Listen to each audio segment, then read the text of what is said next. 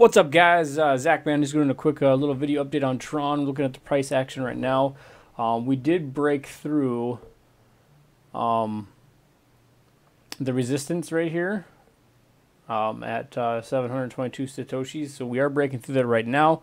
Uh, so we should, and obviously you can kind of see that this thing is going up now. So um, we could be seeing a, retest um, up all the way up to here uh, which would be uh, about three cents, I believe, close to three cents. Um, looking at the 60 minute chart right here, so we can uh, definitely see a breakout right now that's happening, which is pretty positive. So I just wanted to do a little update. Um, if we go to the four hour chart here, let's take a look here. Um, so yeah, you can kind of see where we're at right now. Actually, I'm going to zoom out to the day day chart so you can kind of get a better view. But um, yeah, there's definitely a breakout happening, so uh, which is pretty positive. Kind of zoom out here a little bit.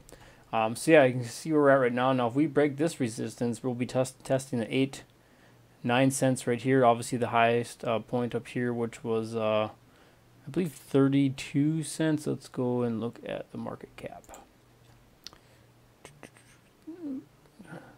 Touchy, here, 25 cents would be the high. So 25 cents. Um, this was 7 cents, and this one was 9 cents. Um, which is pretty pretty positive, if you ask me. So again, this would be the 7 cent one right here. Uh, this would be where the 9 cent one was. But uh, for right now, we're just going to try to test that 4. Um, like I said, I'll probably see some profit taking, so it might bounce back down.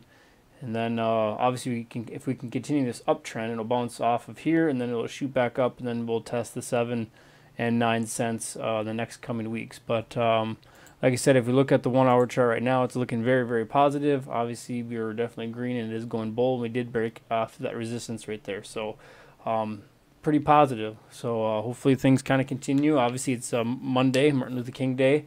Um, you know, over the weekend, obviously the whole summit thing happened, so maybe things are starting to kick into gear. People are realizing it. Um, whatever the case may be, it doesn't matter because it's definitely happening. So, um, pretty positive stuff. So, thanks for watching, guys. We'll check you tomorrow.